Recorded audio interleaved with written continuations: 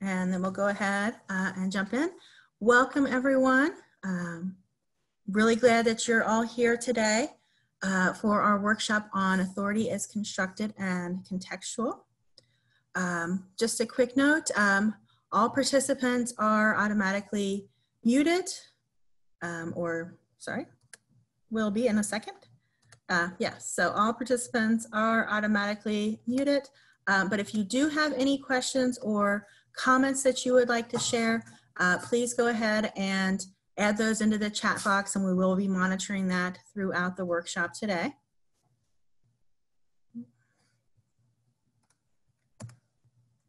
So our topic today is uh, authority is constructed and contextual. And to get us started, we're gonna jump right in with a poll. So I'm gonna go ahead and launch this poll. Hopefully you all should be seeing this now. There are two questions here. Um, and it's just basically asking you uh, your level of agreement with each of these statements. So we'll give everyone 30 seconds or so to add their responses in to the poll questions.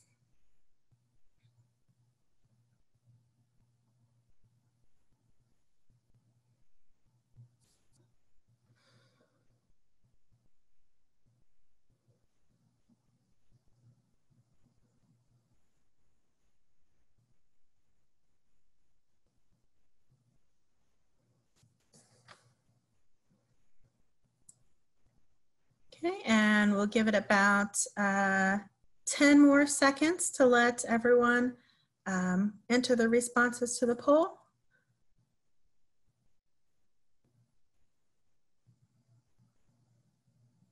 Okay, so I'm gonna go ahead and end that poll and we will share the results with everyone.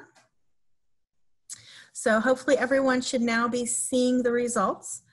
Um, so you can see that we have um, really good agreement that uh, many students have difficulty identifying authority or authoritative or credible sources. Um, and we also have a very strong agreement that uh, most students do not critically consider the context when, when determining which sources to use.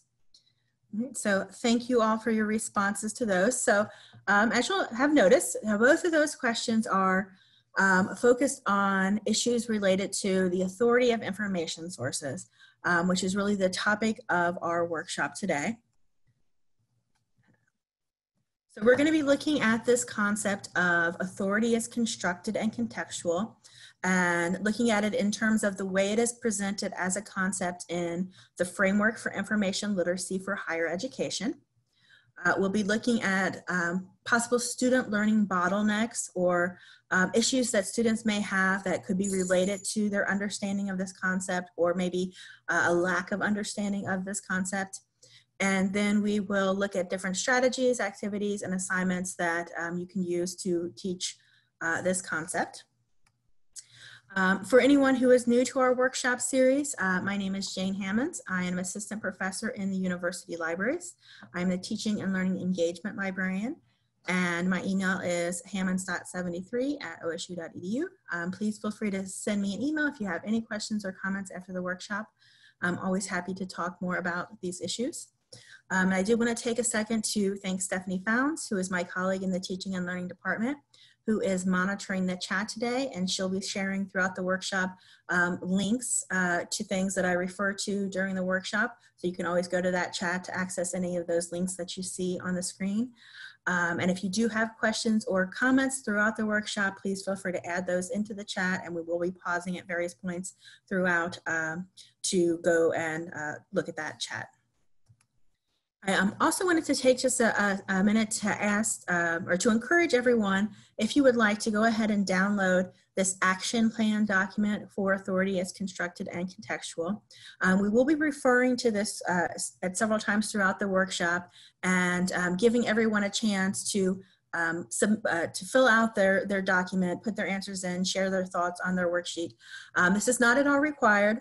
Um, but we are trying to make this um, as active as a workshop can be during, a, you know, for an hour long virtual workshop. And we did want to have everyone have the chance to leave the workshop with, uh, you know, a plan or at least some action steps in hand of how they might want to um, uh, incorporate this concept into their, their courses or their instruction. So um, if you want to, to download that, it is optional, but it is a great way to go as you're going through to be able to, to uh, writing down your, your thoughts um, on this concept. And Stephanie has shared that link in the, the chat. Um, okay. So we will go ahead. Um, so those of you that have been to one of our workshops before, um, hope you'll forgive me if I'll take just a second to, to give a little context for anyone who may be new. Um, this is the fourth workshop in um, our series that is focused on information literacy concepts that are described in a document called the Framework for Information Literacy for Higher Education.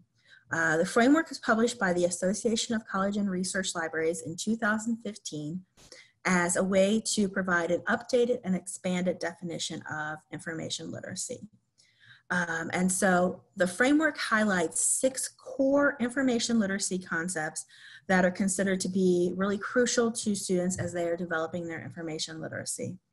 Um, so without an understanding of these sort of core underlying concepts, many of the things that we ask students to do when we think about research or inquiry-based assignments may not really make a lot of sense to them. Um, and these are things, uh, these are concepts that expert researchers understand that we as instructors, as scholars, um, people who are experts in our field who have done a lot of research and scholarship, we understand these concepts, um, sometimes without even realizing that we do. Um, but these are things that students may not yet fully have grasped, and it may create some of the the frustrations or the challenges that we see related to, to students completing research or inquiry-based assignments. Uh, so the, the previous uh, three concepts that we discussed were scholarship as conversation, um, information has value, and research as inquiry. If you did miss those workshops, um, they are available. Um, uh, the videos as well as workshop materials are all available and the links for those will be made available um, and I'll also send an email to everyone after the workshop um, with links to those as well. So we'll jump in and take a look more closely at authority as constructed and contextual. Um, so we're gonna go ahead and watch a short video that uh, provides a good overview, I hope, of this concept. Hopefully everyone will be able to hear it.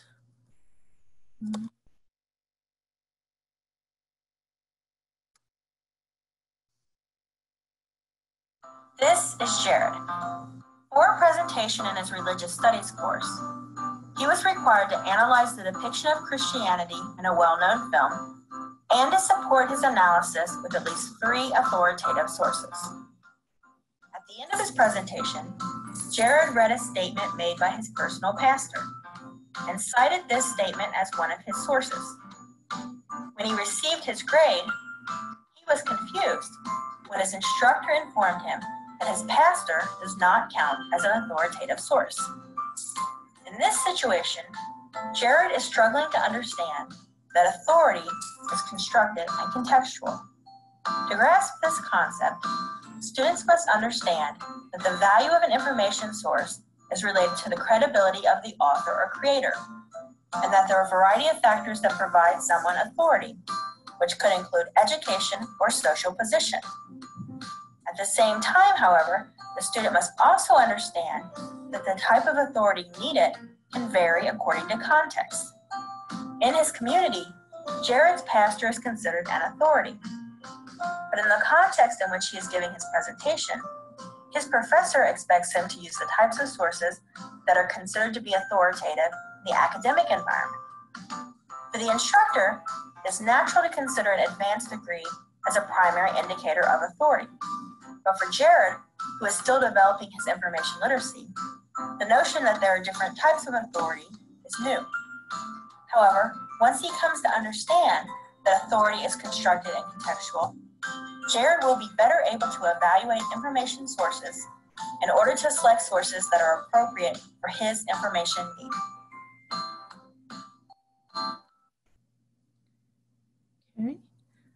So I think that uh, hopefully we'll give a good overview of this concept. And I did want to take a second to mention, I've had a few people at, that have seen this video ask me about this situation. Um, and I did want to, to, clarify that this was an actual situation um, that I experienced. Uh, my first professional job as a librarian was at a small school in southeastern Kentucky in a very um, religious community. And I was invited to watch some presentations that students were doing for one of their religious studies classes. Um, and this situation happened. And it was completely, to me, someone who had not been raised in a, a religious environment at all. It was a, a stunning moment. And it really helped to clarify for me this idea that authority, authority is constructed and contextual. Um, so I just wanted to share that um, with everyone before we move on. Um, so what we'd like to do now is um, have you all take a second to, based on what you've seen and what you've heard so far, in your own words, um, how you would describe the concept of authority as constructed and contextual. Um, and if you did download the action plan document, there is space on that action plan document where you can write your thoughts in there about how you would describe this concept. Um, you can also share your thoughts in the chat box as well, how you would describe um, what you see as the, the, major points of this concept. So we'll give everyone a minute to um, jot down their thoughts, however they would like to do that, um, and then we will go forward. I'm just gonna check the chat box really quickly um, while people are thinking and writing.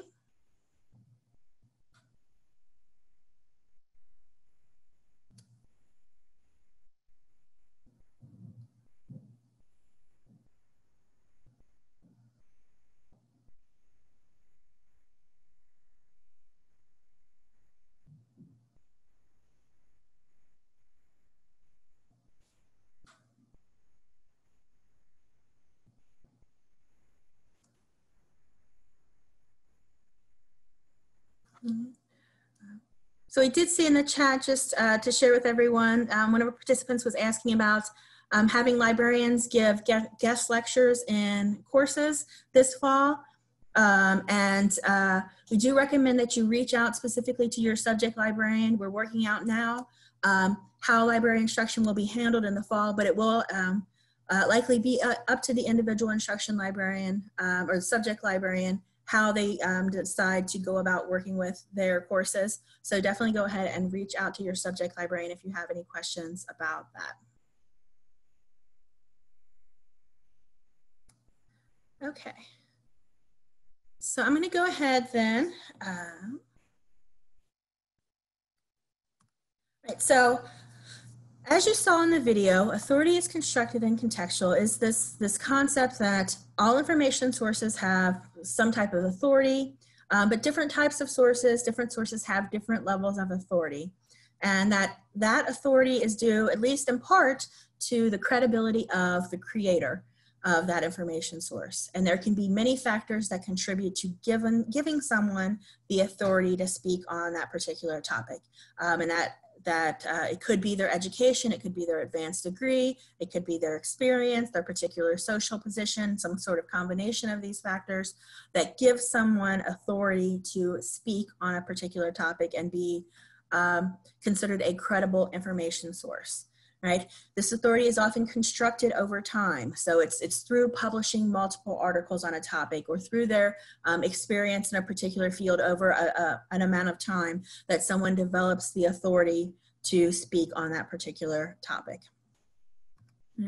So experts, so we as instructors, as scholars, as researchers, we recognize that the context has a lot to do with determining um, what type of authority is needed. So what gives a source authority and what type of authority might be needed at that particular um, situation. Certain things that may be considered authoritative in one field or in one uh, situation may not be considered authoritative in another, right? And that different communities have different uh, types of authority or may recognize different types of authority. Um, and communities is in quotation marks there because communities can be very broadly defined. So a discipline may be thought of as community. Different disciplines may recognize different types of authority. Different professions may recognize different types of authority. Um, so experts, because of this understanding that um, there's many different levels of authority to information sources and understanding the role of context, recognize um, you know, how important it is to evaluate information sources and to consider authority um, as part of that evaluation process and consider the context in which they are using that information um, to help them determine what level of authority might be needed. Um, experts also understand that uh, you know, this is not a perfect world. And so certain types of authority may be privileged above other types of authority. Um, and, you know, certain people may be able to speak on a topic with authority that other people, for various reasons, do not. Um, are not sort of endowed with that same level of authority. And so it's really important to not only evaluate and think about authority, but also think about um, those uh, circumstances that may in some way impact who is considered an authority and who is not. So in summary, um, authority is constructed and contextual is this concept from the framework that holds that information sources have different levels of authority um, and that authority is related to the information creator, the expertise of that creator, um, and different types of uh, uh, the context can have a important role in determining what is considered authoritative and what is not considered authoritative.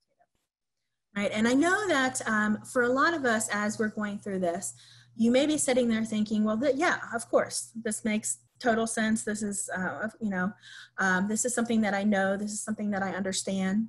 Um, and one of the things that the framework really emphasizes is that um, once you sort of develop an understanding of these concepts, it's really hard to see it from the perspective of someone who has not. So because we are instructors, because we are researchers, because we are scholars, this is some this is an understanding that we've developed. We know this. Um, but many of our students who are just starting out, it may not be quite as clear to them.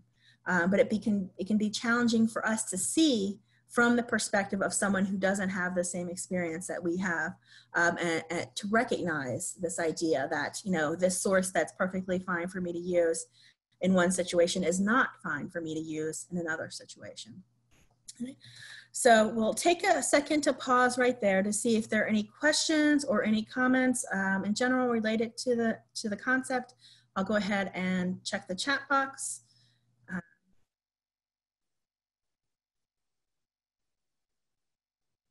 So Jennifer shared, um, someone of authority isn't always going to give accurate information, rather information led by their own beliefs. That is a, a great, great point, Jennifer. Um, just because someone is a recognized authority does not necessarily mean that the information that they are sharing is credible. Absolutely. Um, and that's part of, uh, that's, we'll talk about that a little bit later on as well. Um, but this idea of, of challenging authority in some way is also included in this concept. So critically considering what gave them that authority and whether or not, um, you know, that means that they we can trust what they are saying. Uh, Danny shared, uh, some consider reaching out to dom domain experts as a proper authority. Um, thoughts on balancing that against the video. Um, I'm not quite sure what you're getting at there, Danny, but maybe we can talk about that um, later on, or you could clarify a little bit uh, more about what your question is. Um, so any other questions before we move on?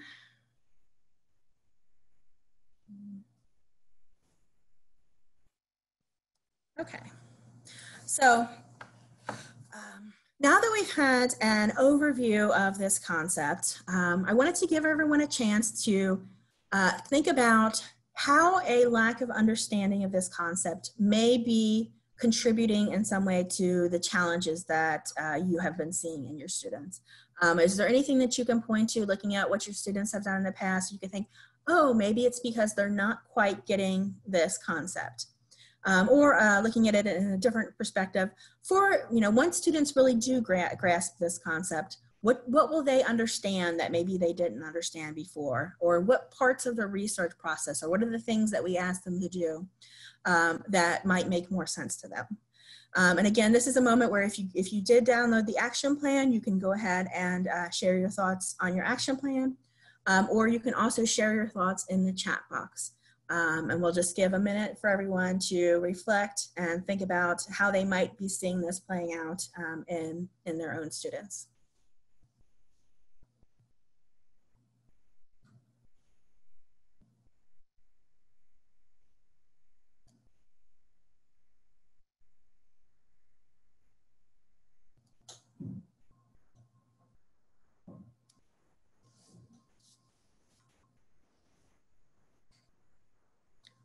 So Brian shared, um, it does explain students citing a blog as a source in a paper. Yes. Right. Um, seeing a source, hey, that source seems like it answers my question. I'm going to use that source and not really thinking about, you know, what type of source it is and whether it's the appropriate type of source to be citing it in a paper. Um, Saida shared, students do not see themselves as authority when they prepare a research paper. They usually feel overwhelmed. That is a great point. Um, coming to recognize themselves as having authority can be a real challenge for students. Um, and also recognizing what makes an authority in particular, you know, disciplines or fields.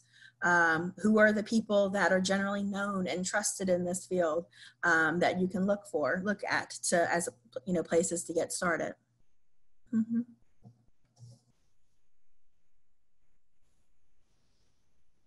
So Peggy shared, if a source says what they want, it's a good source. Yes, I think uh, we've all seen that, right? I'm gonna use this source because it seems to, to do what I, I need it to do, even if it's not a great, you know, source overall.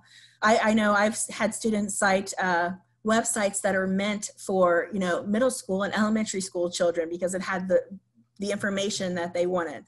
Um, Um, Nick shared, uh, leaning on authority figures to themselves rather than academic authorities. Yes, yep, mm -hmm. absolutely. What they have recognized or think about as an authority um, and, instead of academic authorities. Um, so understanding that popular media isn't authoritative in an academic context, definitely. Um, Brian, hopefully they learn that they, uh, they seem to know more than me doesn't make the source an actual expert. Yes, and we'll talk about uh, that a little bit more too later on. Uh, just because someone says they're an expert doesn't mean that they are one or seems like an expert. Um, yeah, absolutely, great. Um, so we'll go ahead. Um, and in this next part of the workshop, I wanted to look very briefly at um, some potential student learning bottlenecks that could be related to this concept. Um, and many of these are things that you are already mentioning um, in, in the chat and that we've already been discussing. Um, bottlenecks, for anyone that is not familiar with that term, basically just is a way to refer to those places where students tend to get stuck in sort of a research or inquiry based process um, where you might see over and over again each semester students making the same mistakes um, those can be considered those bottlenecks, sort of those stuck places. So some potential student learning bottlenecks related to this concept, and again, many of these are things that you've already been mentioning. Um, part of this is related to the search tools that they use. Um, this recognition that not all search tools are made the same and that to locate the kinds of sources that they may need to use in academic research or later in their careers that there may be within their fields particular um, search tools or information resources that are considered authoritative in that field. Um, and so recognizing that, you know, this that basic Google search is going to get them a lot of results, but it may not get them the types of results that are considered authoritative um, in that field or in that discipline. And so they may need to use specialized search tools. Hmm.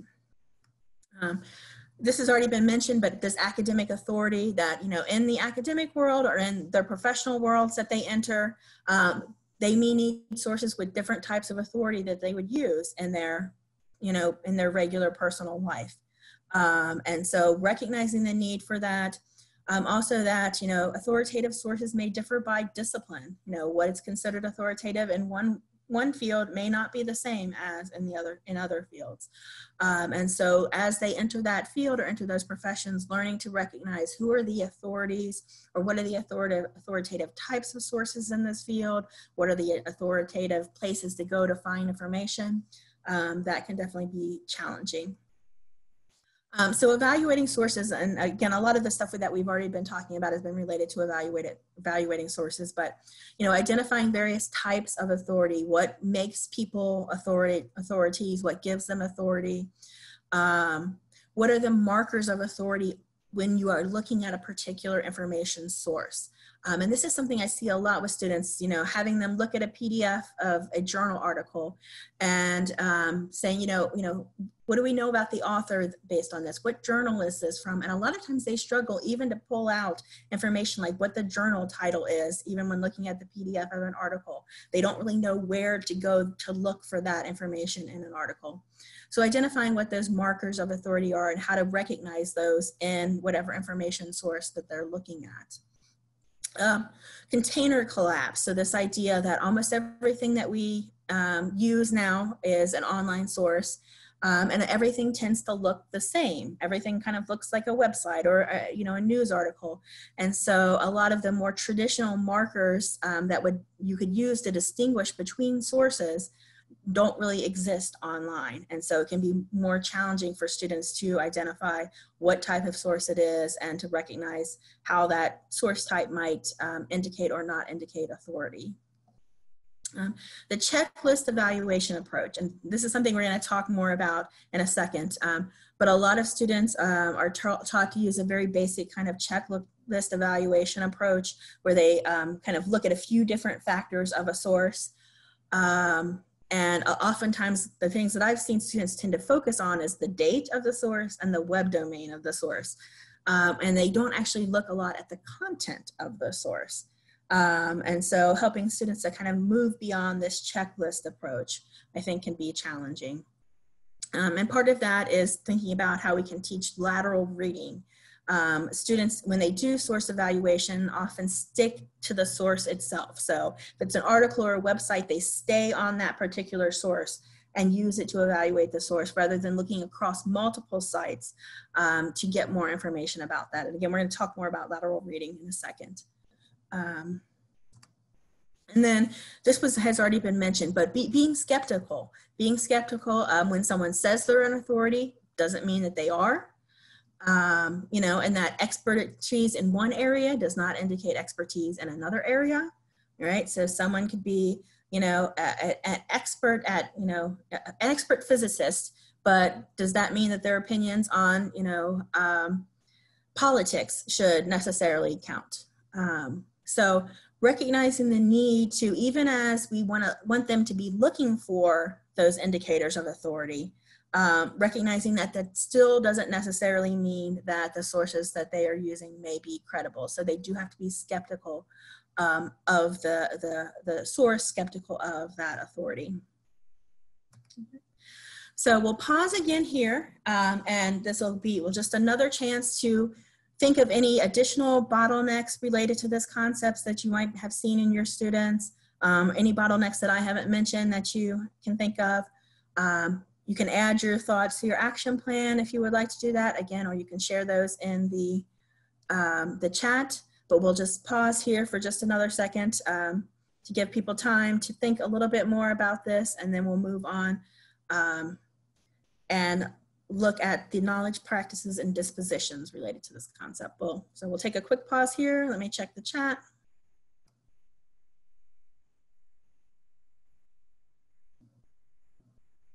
So Danny shared students using JSTOR for everything. Yes, students tend to, they, they learn one database when they're in high school that, you know, JSTOR or whatever database they use, and then they use that database for everything. If they know how to use it, they're going to use that database, even if it's not the most appropriate one for their particular topic. Um, Kathy shared, I agree that one of the biggest problems with student search occurs in that they do not understand how to do productive library searches and which tool search engines resources will lead them to locate authoritative sources. I feel oftentimes as those students give up easily or sell out to the first materials that they find. Absolutely, Kathy. Um, you've probably heard the phrase before, but uh, satisficing, right? They find a tool that, uh, you know, it, it's good enough for them. It's not the best source that they could find, um, but it's going to be good enough. They're going to just find the, the, the, first sources that they can that seem to work. Uh, Danny shared, uh, some students are still using the old .com rule and have even dismissed scholarly journal articles because it's on a .com site. Yes, um, website evaluation by domain name is something that a lot of students have been taught and it just doesn't work. Um, we're going to look at the .org situation as well later, but um, going by just the domain name to decide whether or not a source is trustworthy or not, for some reason, a lot of students have really absorbed that um, and it really just doesn't work. Um, Jasper shared, even in academic space, many students don't look up the authors, right? Many of the bigger name authors have other companies, patents, or clinical practices that bias their work, which is okay if the reader knows how the researcher is biased. Yes, the importance of looking up their, the authors of their sources, looking up the journals of their sources to learn more about those. We're going to talk more about that later. But recognizing, you know, the factors that may contribute to making that source, um, to the bias in that source and being able to recognize that. Um, and I agree with you that you can, you know, it's perfectly fine to use a source that is biased as long as you recognize that and take um, account of that in your, your work. Absolutely. Okay. So we'll go ahead and move on. So uh, the framework highlights what they call knowledge practices and dispositions uh, related to each of the core concepts that they mention. So knowledge practices can basically be thought of more of actions um, and dispositions or ways of thinking or habits um, that students start to demonstrate once they develop an understanding of this concept. And I want to highlight a few of these here because I think these are great, great places to go. One, if you're trying to think about specific bottlenecks that students might have related to this topic, the knowledge practices and dispositions kind of highlight many of those bottlenecks because they are the things that students should be able to do or to think um, if they understand this concept. Uh, the knowledge practice and dispositions are also great ways to go. They're not necessarily meant to be learning outcomes, but they can very easily be transformed into learning outcomes. So I wanted to highlight a few of these related to um, authority is constructed and contextual. So as students are developing their understanding of this concept, as we talked about, learning to define different types of authority, um, such as subject expertise, social position, or special experience, learning how to use those indicators of authority to determine the credibility of sources, but also understanding the elements that might temper that credibility, um, and recognizing that authoritative content may be packaged in different formats and may include a variety of different types of sources. Um, one of the things that I've seen related to that is once students learn about scholarly articles, um, sometimes they get to thinking that they have to use scholarly articles in every situation, that those are the only type of authoritative sources. And so whenever they're in a situation where they can't use scholarly articles, maybe they're researching a really new topic that really doesn't have a lot written about it, then they really struggle to identify what authoritative source might be if they can't rely on that, um, that scholarly peer review um, as the main indicator of whether or not a source is scholarly.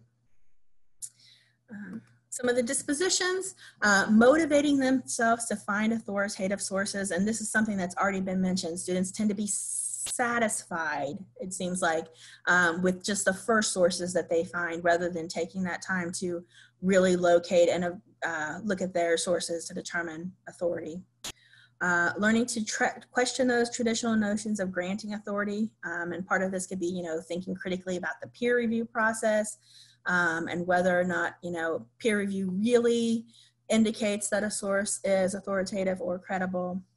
Um, and then developing the understanding of how their own biases, their own perspective might um, impact what they consider to be authoritative or not authoritative. Um, so again, I just wanted to highlight those um, knowledge practices and dispositions because I think they can be helpful as you are thinking about uh, specific bottlenecks that you may be seeing in your students or specific um, competencies or ways of thinking that you want your students to develop related to this concept.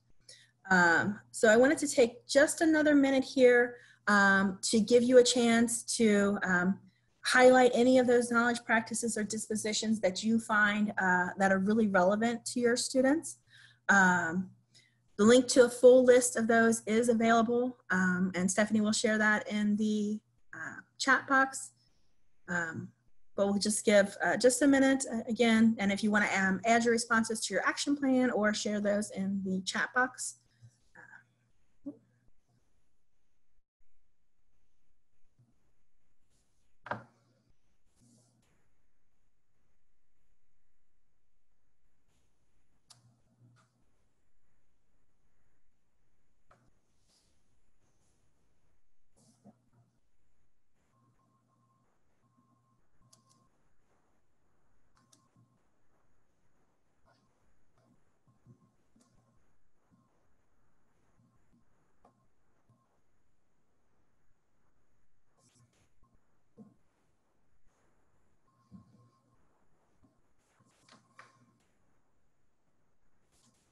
So we'll give everyone just a few more seconds. Um, if they want to go ahead and take a look at those uh, knowledge practices and dispositions and highlight the ones that they find most relevant. And then in the last part of the workshop, we're going to look at various activities and assignments um, that we might be able to use to um, help students develop their understanding of this concept.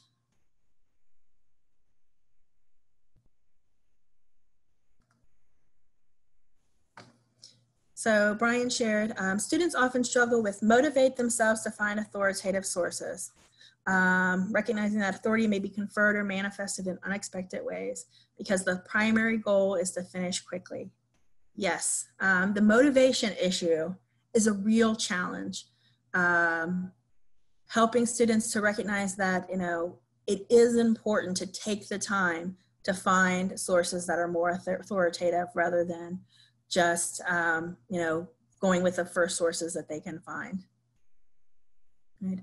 Um, Megan shared, understanding how to find authoritative sources in situations where peer-reviewed research isn't available or appropriate. Yes, I think that is a definite, definite challenge. Um, that peer-reviewed, you know, becomes sort of like the holy grail almost for students. And yes, that's automatically an indicator of quality. I don't have to worry about it anymore. And if they don't have that, uh, to lean on, then identifying what an authoritative source is is really challenging. Um, Jennifer shared kids voting would be a great example. Um, I'm not quite sure what you're referring to there, Jennifer, so if you want to share a little bit more information um, there, that would be great.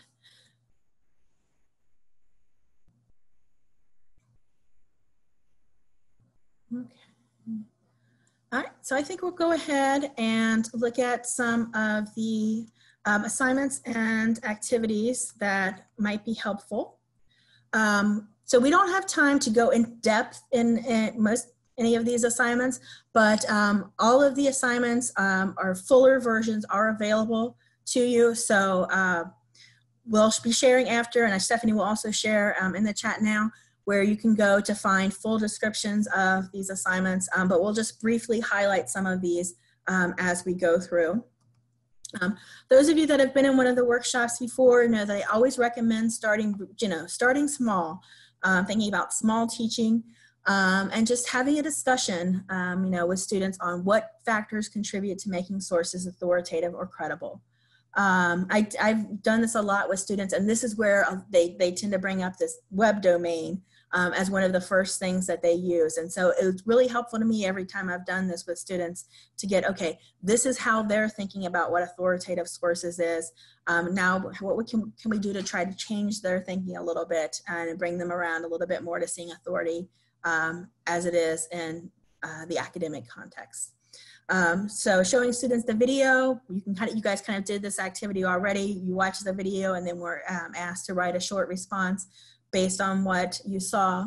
Um, that can be a, another way to get a conversation going on this topic. Um, true false activity, again, I always mention these because I've done these so many times with students and I always find it really helpful um, because statements that I will think are perfectly clear to me whether or not it's true or false will be a cause of debate to the students. And so it really often helps me to see the way that they're thinking um, about what makes a particular source authoritative or, or, not. And it's a really quick activity that you can do in 15 minutes. Um, you could do it on a discussion board and in a, a Canvas course. Um, but it really kind of helps you to identify some of the misconceptions that students may be holding about um, what makes sources authoritative or what sources are considered appropriate to use um, in the academic uh, context. Um, so some source evaluation resources. And as I mentioned, I do have some, some problems with these kind of checklist approaches to source evaluation. Some of you may be familiar with the CRAP test, which guides student, students through evaluating sources based on currency, relevancy, authority, accuracy, and purpose. Um, and then a version of this um, that was developed by my colleague, um, Hannah Primo, in the Teaching and Learning Department is DRAMA, so evaluating sources based on date, relevance, accuracy, motivation, and authority. Um, I do think, tend to think that, that using this kind of checklist approach to evaluation can um, keep students at a surface level and they don't really go into the source um, itself. Um, but I, as a starting point, I think that these can be helpful. Um, you know, if, if you want to at least make sure that your student, students are doing some evaluation of their sources, thinking a little bit about the sources, having them use one of these checklists with um, any sort of research or inquiry-based assignment they have whenever they have to turn in sources um, can be a helpful way to get started at least. And it can at least, the very least, um, I think you would probably get sources that were in a much more appropriate date range um, if you did this. All right. Um, so ways to get started, um, but we'll, we'll try to go a little bit further um, as we go through some, uh, more, some of the more, some additional activities and assignments. So one way I think that you could take that and, and go a little bit further would be to have your students um, in, in uh, working together as a group create a class document um, which outlines the types of sources that are appropriate to use in that particular source, that particular um, course, or for that specific assignment that you have. So they could uh, take uh, the CRAP test or drama as examples to get them started, but um, you know, with your support and guidance, they could develop a, um, a model that would be more relevant to that course or that discipline. Um, and then they could incorporate that and use that as part of any assignments that they have where they have to locate sources. Um, and hopefully by having the students work together and think through development of this course specific guideline, um, they might be a little bit more invested in thinking about, um, you know, why those criteria are there and making sure that they're using that to guide their own source evaluation process. Uh, was going to do another poll here, but I know we're we only have about 15 minutes left, so I'm going to actually skip this one for now um, and just keep going through some of the assignments. Um, this is another activity that I've done with students a lot, um, where I give them um, a handful of note cards, and basically on each card is written a different type of information source. Um, so scholarly journal article, a news article, encyclopedia articles. Um, I tend to keep it pretty general, but depending on your discipline or your course, you can um, think about the types of sources that are most likely to be used in that field. Um, and then I provide students with a variety of different scenarios where they might use information. Um, and some can be, you know, more um, uh, academic scenarios, some can be more personal scenarios, more professional scenarios, and you can vary these depending on what might work best for your course. Um, and then have them sort the cards basically from the, the type of source they think would be most authoritative in that situation to the type of source that they think would be, you know, least authoritative or least appropriate to use in that situation. Um, you know, and having them compare and discuss responses. And this can be really helpful, I think, especially getting at if when you give them a situation um, where it would not be appropriate to use scholarly journal articles or scholarly journal articles probably wouldn't be available. Um, a lot of times I've had students still put as the most authoritative source in that situation a scholarly journal article and then we talk through that, you know, why in this particular situation might it not be the most appropriate type of source and what other types of sources could you use in that situation. Um, so there's an activity, I've done this a lot with students and I think it generally always leads to good discussions about types of sources that might be appropriate. Um, this is a similar activity. Um, so in the previous activity, it would actually be written on the card, scholarly journal article, you know, news article. Um, so it would be generic. This is a, a similar activity, but this would be um, giving students actual sources. So giving them the link to, you know, five sources or however many sources would work best. Um, and this can be a mix of websites, journal articles, ebooks, whatever kinds of sources you think would be appropriate. Um, identifying a particular research question or a topic, and then looking at the actual specific sources, having students rank the sources um, from the ones that they consider most authoritative to the least authoritative. Um, and then discussing and sharing, you know, how they came up with those rankings, why they felt certain sources were more authoritative than other sources, um, and comparing any um, disagreements that there might be among groups as to, you know, we thought this was a really great source and we didn't, um, and, you know, having them discuss why. Uh, comparing types of authority. This is kind of looking at this in a, in a different way, um, but this is thinking about the type of person or the type of individual that might be considered authority in a different situation. So, um, you know, I've done this before. I describe a bunch of different kind of information needs that people might have. And some could be academic information needs, some could be professional or popular information needs. Um, and then have students think about what type of person might have the authority to speak in this situation? What kind of credentials would someone have, would need to be considered an authoritative authority in that situation? Or what type of experience would they need to be considered an authority in that particular situation? And again, this can help students start to think about, you know, um, if you are a student teacher, um, in some of your work that you're doing when you're writing papers for your courses, you need to use, you know, uh, peer-reviewed research articles. But if you are, you know, practicing teaching for the first time and you're having trouble controlling your class, then you can talk to an experienced teacher. Maybe the person, um, you know, is the authority rather than going to that peer-reviewed research. So thinking about the different types of people that might be considered authorities in different situations.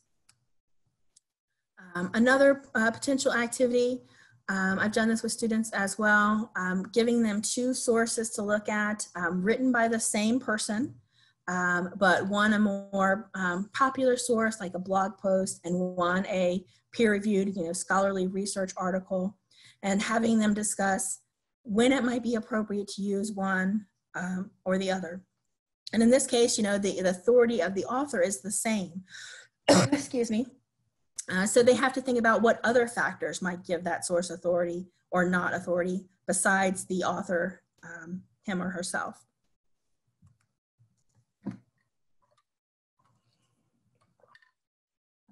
So as I mentioned, um, the domain name uh, as the evaluation process, as part of the evaluation process is a very common thing that students have been taught.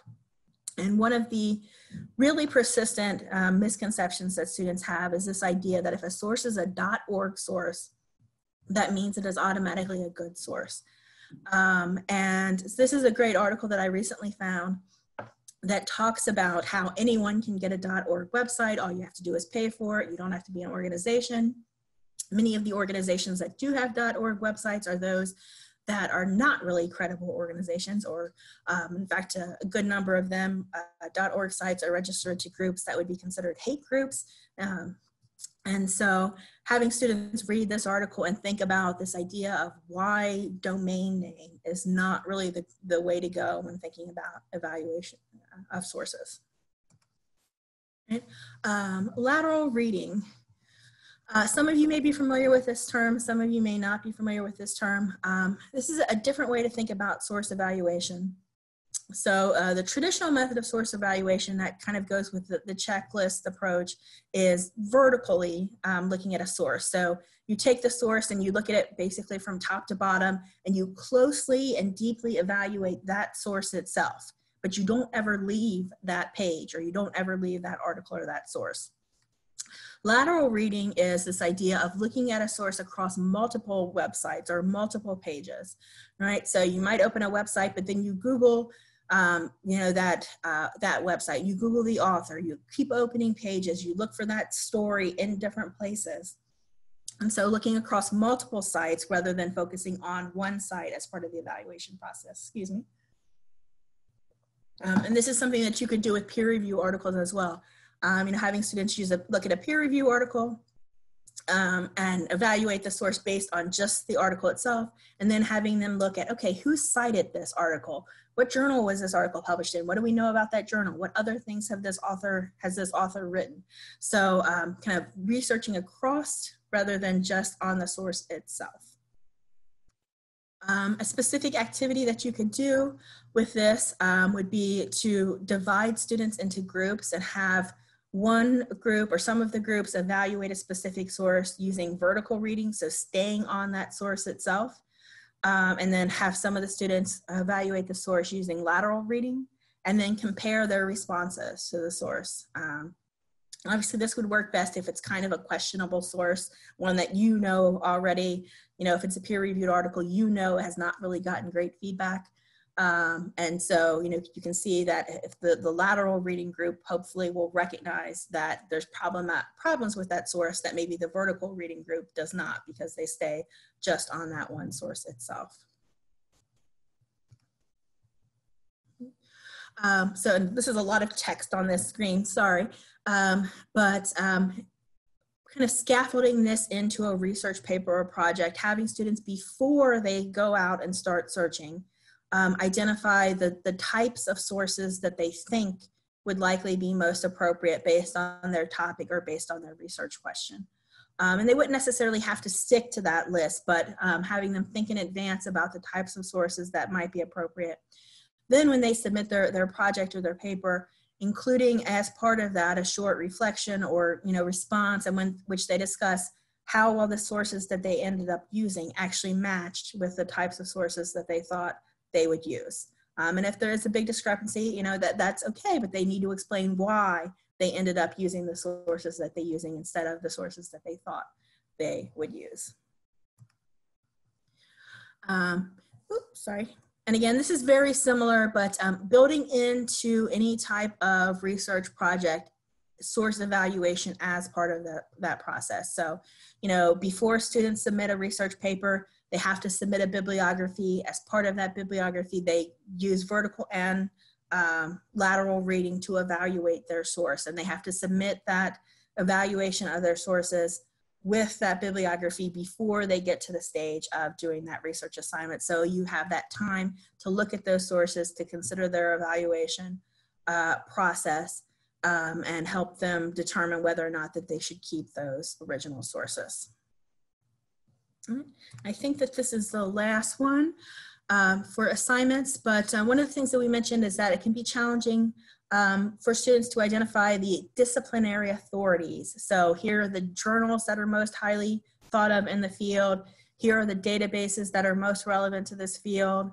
Um, and so different activities that you could use to help students identify those um, disciplinary authorities. So perhaps you give them a list of, you know, five journals and each group has to um, evaluate that particular journal, um, look at the impact factor for that journal, and make a, a, you know a ranking of which of the journals that are considered to be you know most important in this field. Um, I've done this a lot with students. Have assign each group a database to search um, and have them all use the same search terms and see how the results differ by database. Um, and sometimes students are really surprised to see, hey, this database had 500,000 articles and this database only had two. And maybe, you know, this database that's the one that I'm most familiar with is not the one I should be using because, you know, I'm missing a lot of results um, that are actually in other databases. Um, giving students, you know, articles in the field and having them identify are there journals that you see in the citations over and over again are there any scholars that you see over and over again in those citations so kind of helping to identify the the disciplinary authorities so i know we've uh, kind of getting down to the very end um, so those are some ideas for various assignments and activities that you could use. Um, so I wanted to let everyone have again a minute to think about how you might want to do this. Um, you can add your thoughts to your action plan. You can share those into the chat box. So we'll let everyone just have a minute to think and then we'll just share some, some final ending information for everyone. I'll go ahead and check the chat and see we've got a lot.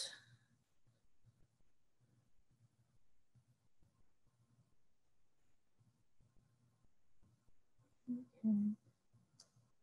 So yeah, Stephanie shared a links to the assignment examples, the evaluation.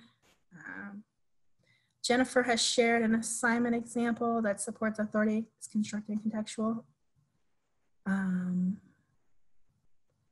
see, Stephanie shared lateral reading links, uh, the New York Times article link there.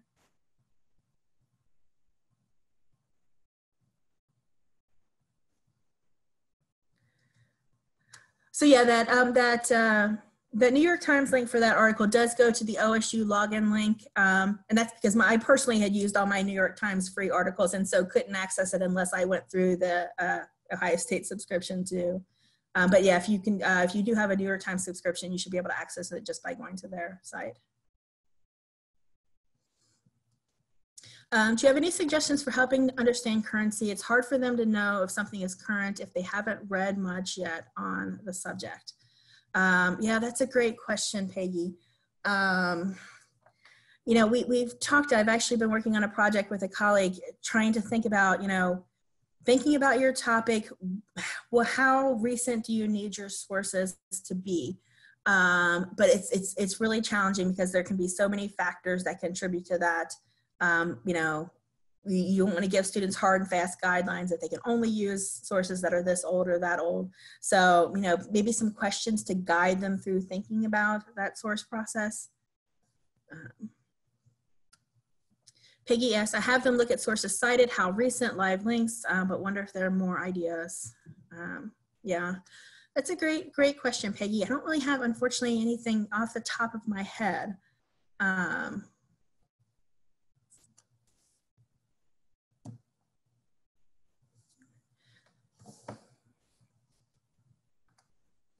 Okay, so I know that we are coming to the um, end of the workshop. Um, let's see, we've got a few last comments. Um, Nick said, my students cover various aspects of drug use in the course. It'd be interesting to send them on different database search tools to see how different students get different hits on their topics. Um, yes, I think that that would definitely um, be a great activity um, especially because uh, you know that's a topic that would be covered in a variety of different databases, but the articles would be very different depending on what database they use, what the focus of those articles would be. Um, Peggy shared, I feel like COVID has offered some great examples of what it means to stay current. Um, Brian shared, I use Einstein's airfoil as an example. He designed a terrible airfoil for Germany that looked like a cat's arch back. So, all right, thank you for sharing that, Brian. Yeah, I'm not, I've never seen that before, so I'll have to look that up. Hmm. Okay, so um, just a quick um, last few things here.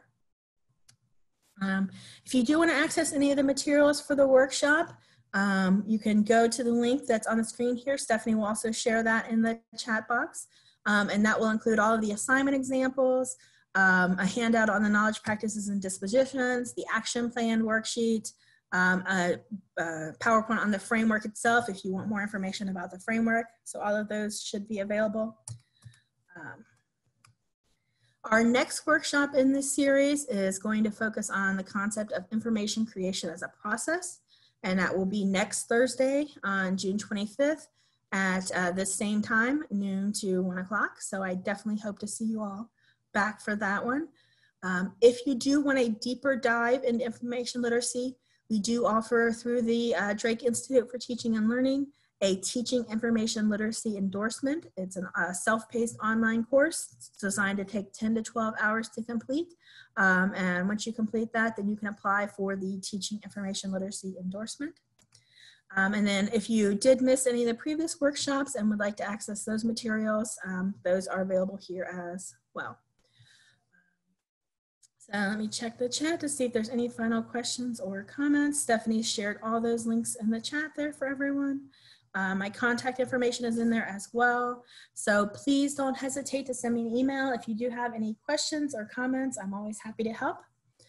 Um, and I know we've got a couple minutes past, so um, think we will bring the workshop to an end for now. Um, I'll stick around for a couple more minutes in case there are any questions or problems. I want to thank everyone for attending and uh, thanks Stephanie for um, helping out today and sharing all the links, monitoring the chat, um, and hope to see you all again next week.